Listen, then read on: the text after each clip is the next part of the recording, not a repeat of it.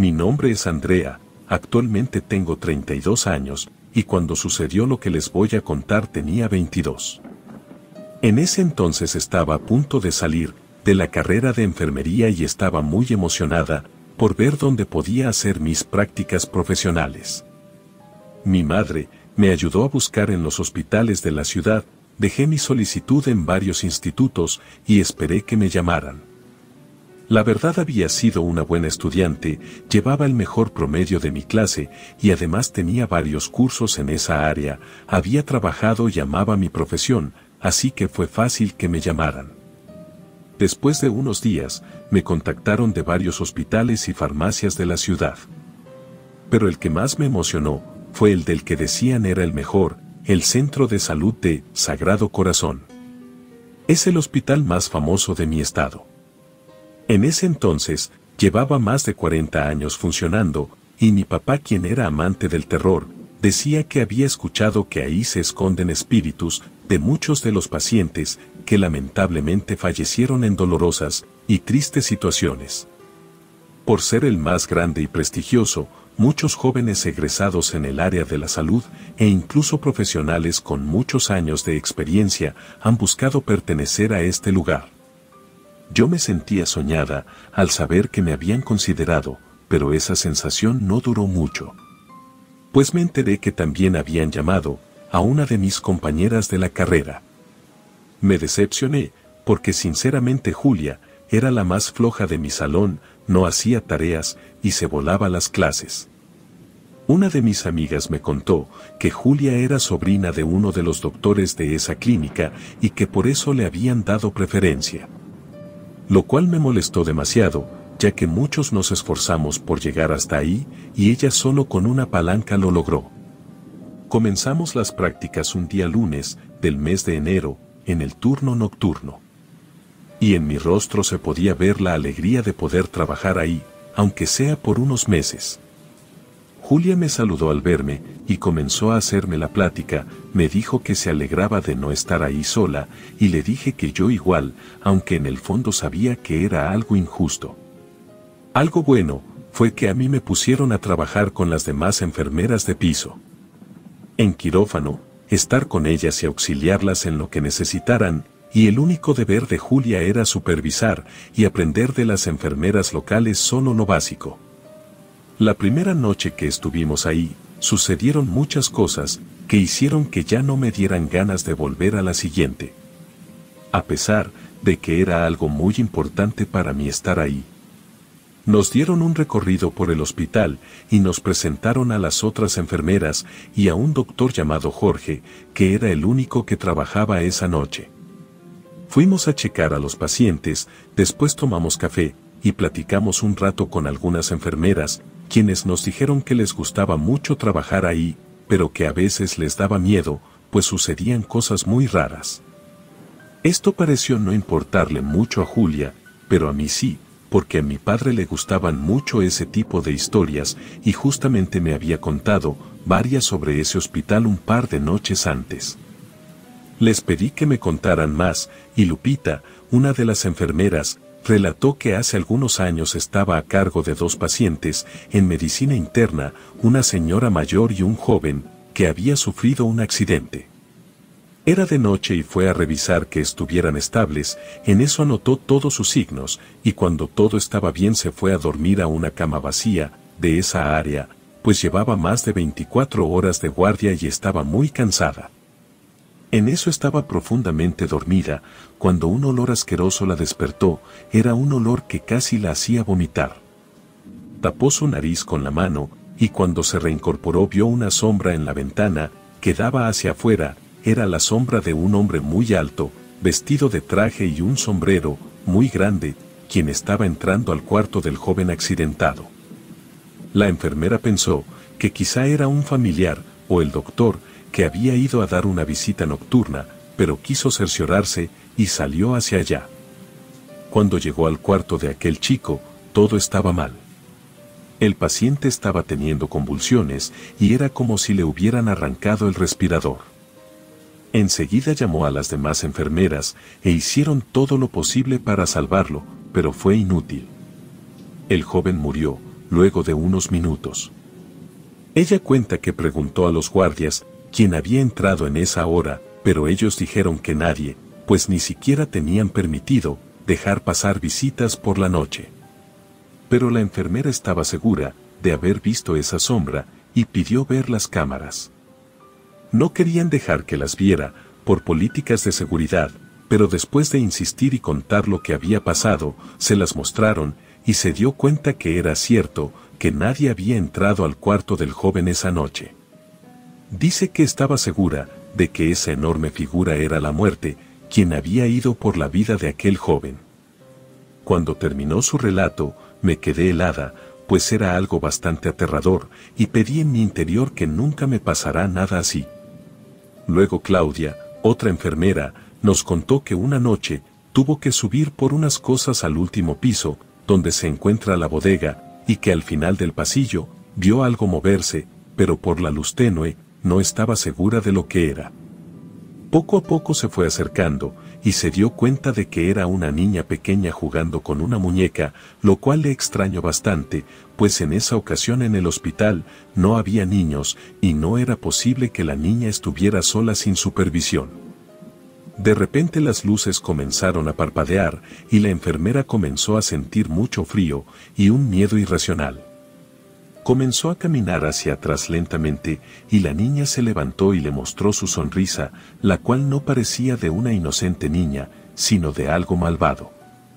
La enfermera bajó rápidamente las escaleras y al llegar al primer piso, le contó al doctor en turno lo que había pasado, y él le dijo que varias enfermeras le habían dicho que habían visto a una niña con las mismas características en diferentes áreas del hospital. La verdad, a mí me empezó a dar mucho miedo, pero no dije nada. Después de ese momento de descanso, todos estuvimos ocupados un rato en una cirugía y dejamos a Julia sola en la oficina del último piso. Cuando terminó la operación e íbamos caminando por el pasillo, todo estaba muy tranquilo. Hasta que de repente el silencio fue roto por alguien que parecía estarse quejando, como si estuviera teniendo un dolor muy fuerte. Inmediatamente vimos a Julia salir de la oficina y dirigirse a la habitación que estaba al final del pasillo, de donde venía ese terrible sonido.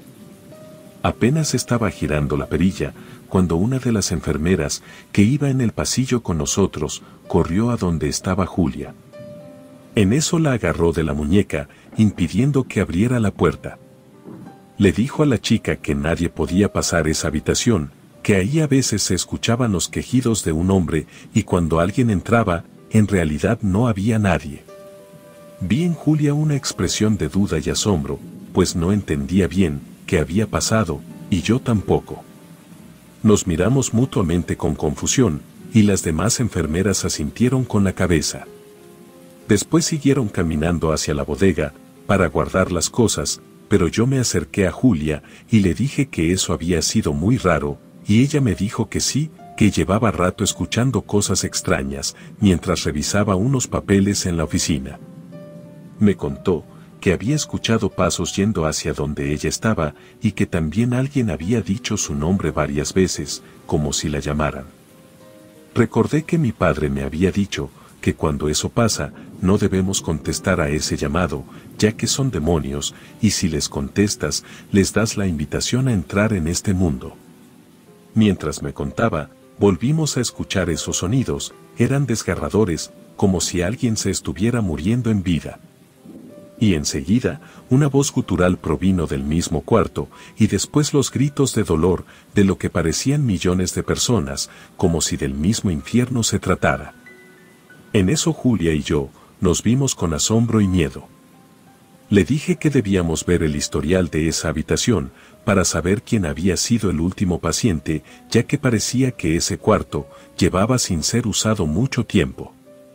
Ella sintió con un gesto de complicidad, y sigilosamente fuimos a la oficina, donde estaban los expedientes. Julia entró a buscar, y yo me quedé afuera vigilando, que nadie nos viera. No podía creer que en mi primer día de trabajo estuviera viviendo algo así. Después de cinco minutos más o menos, mi compañera salió con los papeles del último paciente de ese cuarto. Fuimos hacia la bodega para que nadie nos viera y abrimos el sobre. El paciente se llamaba Nicolás Hernández y había nacido en el año 71, no tenía ninguna dirección y por lo que decía ahí, llevaba más de un año en el hospital. Estaba diagnosticado con una enfermedad mental, algo que se me hizo raro, ya que ese tipo de pacientes normalmente están en un centro de salud mental. Los síntomas que presentó cuando llegó fueron hipotermia, daño en el sistema nervioso central, y por extraño que parezca, también llegó con quemaduras de segundo y tercer grado. Mi compañera y yo estábamos confundidas y seguimos leyendo, pero una de las enfermeras nos sorprendió con el expediente y nos preguntó por qué lo teníamos. Le dijimos que era simple curiosidad, pero que enseguida lo devolveríamos. Ella nos dijo que estaba bien, que no le iba a decir a nadie, y que entendía lo que estaban sintiendo, porque cuando ella había llegado ahí, la primera vez se sentía igual, y que no estaba segura si esa sensación se había ido, pues todas las noches, iba a trabajar con miedo.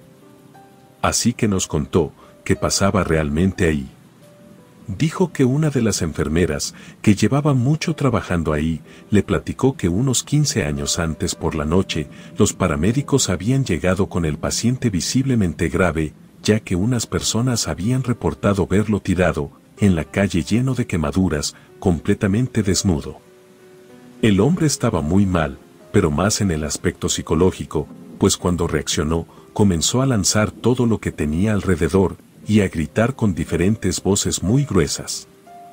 Lloraba y gritaba que no quería volver al infierno, que se estaba quemando y que por favor no lo dejaran solo, pero unos minutos después, unos sonidos espantosos salían de su boca, como si fuera de otro mundo.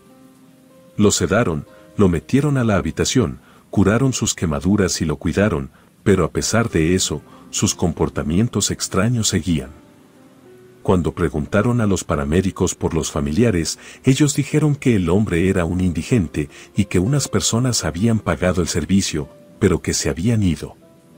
Nadie sabía quién era ese hombre, pero poco después un infarto lo llevó a la muerte y desde ese entonces en ese cuarto se escuchan cosas muy raras y aunque han intentado internar pacientes ahí, es imposible por el olor fétido y los gritos que se escuchan por la noche.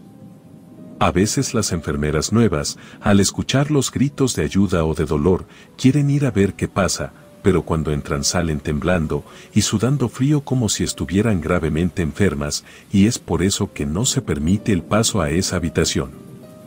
Dicen que aquel hombre estuvo en el infierno y que de alguna manera logró escapar, pero que el diablo no lo perdona y se lo llevó de nuevo. Julia y yo nos petrificamos al escuchar eso. La verdad, sentí como el miedo invadía mi cuerpo y le agradecí a la enfermera por contarnos aquella historia. Después de eso, nunca volvimos a hacer caso a los gritos de auxilio de aquel hombre y aunque al principio Julia no me caía muy bien, después nos convertimos en grandes amigas. Terminamos nuestras prácticas y no volvimos al hospital jamás. Todo quedó en el pasado, aunque a veces tengo pesadillas en donde escucho al hombre pidiendo ayuda. Relato anónimo.